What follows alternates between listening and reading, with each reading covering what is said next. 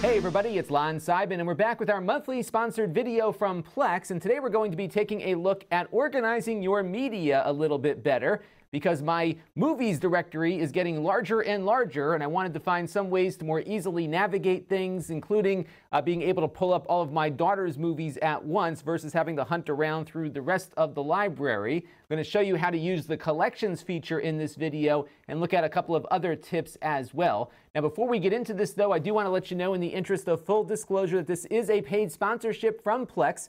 However, all the opinions you're about to hear are my own, and they have not reviewed this content before it was uploaded. So let's get into it and see how we can create collections and begin to organize my media library a little bit better. So we're going to begin organizing this mess by creating a collection. And this is something that's kind of a new feature to Plex, but it's available to all Plex users, including free users. And what I'm going to do here is select a few movies that my daughter wants in her collection. So I've got a couple of Frozen shorts here. I've got uh, the Finding Nemo movies. I'll throw Aladdin in there and uh, maybe grab something else here as we're scrolling down, maybe this one right here. And what I'm going to do now is go over to the Edit button here at the top of the screen.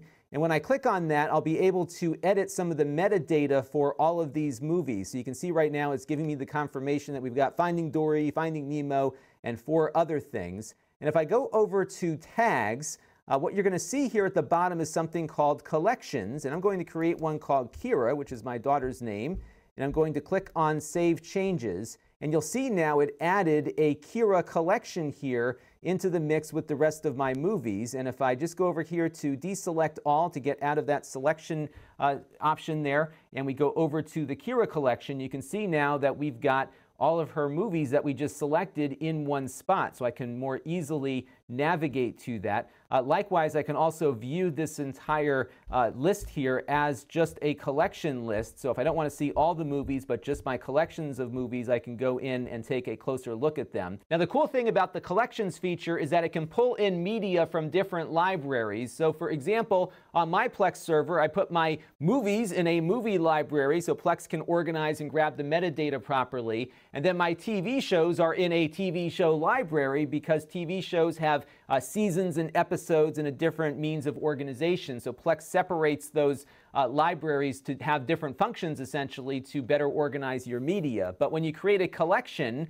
uh, what will happen is, is it will uh, give you all the stuff from all the libraries that you can then access from a single place. So right now I'm in the movies library. I clicked on my Star Wars collection and you can see I've got all of my Star Wars movies here. But if you look down at the bottom of the list, it also has Star Wars Rebels, which is a TV show that is currently stored in my shows to watch uh, media library, which is a TV show library. So I could go and get at the TV show from the movie side of things if I want. Now, likewise, if I browse through the Star Wars collection in my TV show library, it will put a preference on the TV show first, but it also gives me access to the movies as well. So this is a great way if you've got, you know, multimedia kinds of shows that appear on television and in film. Uh, you can keep all of it in one place, even if they're in different libraries on your Plex server. And again, this works because if I go in and edit the Star Wars Rebels metadata and go over to the tags, you'll see that I have it in a Star Wars collection as well, and that's how Plex knows to put all that stuff together.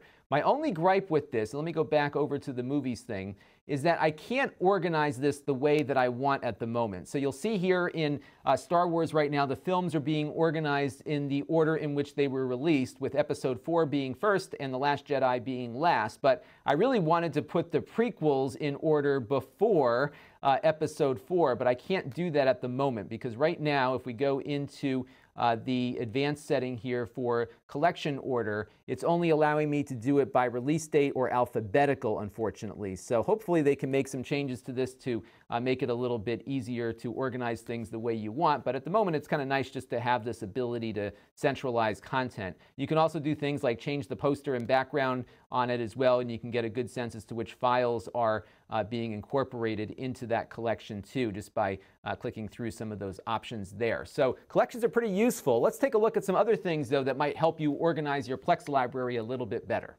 So one thing you might encounter on your Plex library is that maybe you've got a file that was uh, mismatched or not even matched at all to the metadata library. So here is Apollo 13 that I uh, grabbed off of one of my Blu-ray discs. And you can see right now it's just got like a thumbnail of the video file and it wasn't uh, finding the data properly. And there's a whole bunch of reasons why this might occur. Uh, if you are ripping your own movies, this is something you might see quite often because the file name may not be something that Plex recognizes. So one of the things you can do here is go over to Fix Match. And what I did here was click on this little uh, group of periods here to get to that. So I'm going to go over to uh, fix match now. And what it's going to do is give me a few other options of what it thinks it might be. And because for whatever reason the movie was set to 2006 initially, that kind of threw it off and it thought maybe it was the movie Disaster, uh, but it was not. So I'm going to go over here and just click on Apollo 13 from 1995, which I think is the correct match. And now you'll see it's going to go out to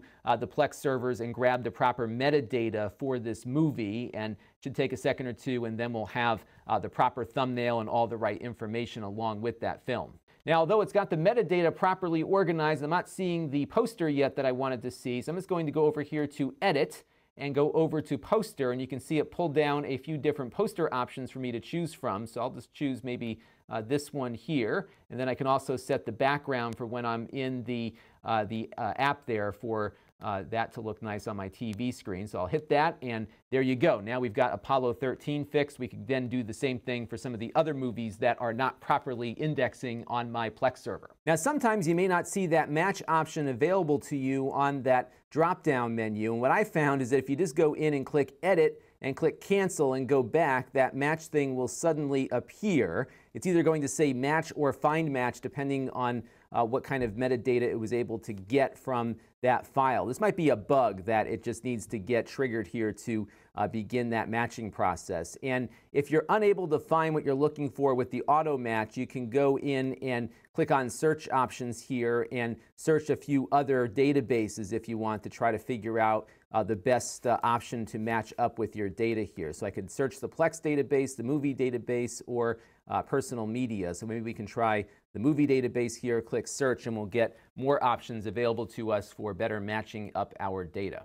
And there are some other ways to drill down your list of movies on your server, and that can be done through the filters that you'll see at the top of the screen here. And this function exists on mobile and on TV too, and I'll show you some ways to do that in a second. But let's say I just wanted to go and see what comedy movies I had in my library. So what I can do is just drill down on genre and select comedy here, and there you go. You can see just the movies that uh, Plex has registered as a comedy for me to watch. So you do have some pretty easy ways to organize things on your server, and I think the collections makes it even easier because now you can really determine exactly what you want to go together, and again, even pull in stuff from other uh, libraries on your server. Let's take a look now and see how these organizational tools work on mobile and on TV. So here is the mobile version of Plex running on an Android phone here. And the way you can get at some of these filters is to click on the little filter icon that you see right here. And if I tap on that, you can see I can switch right to collections if I wish. And uh, then I can then drill back into my Star Wars thing, for example, and see all the films organized in a very similar way to what we had before. Uh, but I can also go back to the movies here and uh, do it by genre again, too. So I could maybe go to animation this time and uh, close that out, and then I'll just be presented with uh, films that are categorized as an animation. So pretty easy to get at that uh, on your mobile device. Let's take a look now and see how to do it on TV. All right, so we're on my NVIDIA Shield now, so we're going to go over to Movies and go to All Movies. And once again, we've got all of our thumbnails here kind of mashed up together. So I'm going to go over now to this little thing that says Movies. I'm going to click on that and go over to collections. And now you'll see that list is whittled down to the collections just like we saw before. So I've got three collections set up. And by the way, a movie can exist in more than one collection. So I could have uh, Star Wars in a Star Wars collection, but also in a sci fi collection if I wanted to. So you can uh, mix and match these things any which way you want.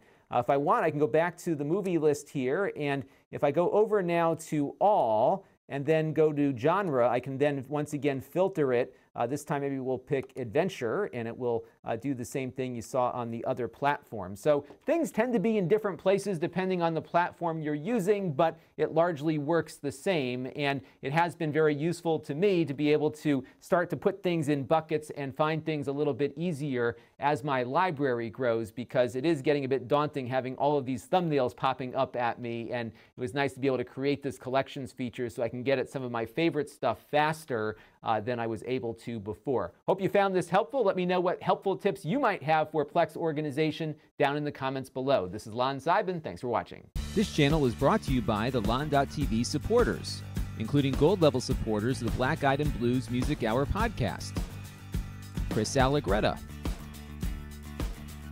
and Kalyan Kumar. If you want to help the channel, you can by contributing as little as a dollar a month.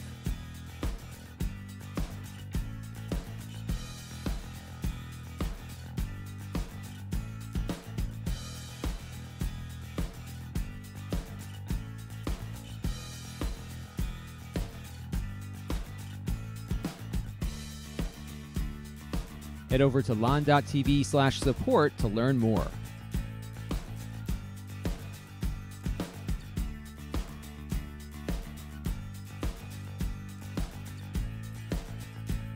And don't forget to subscribe. Visit lon.tv slash s.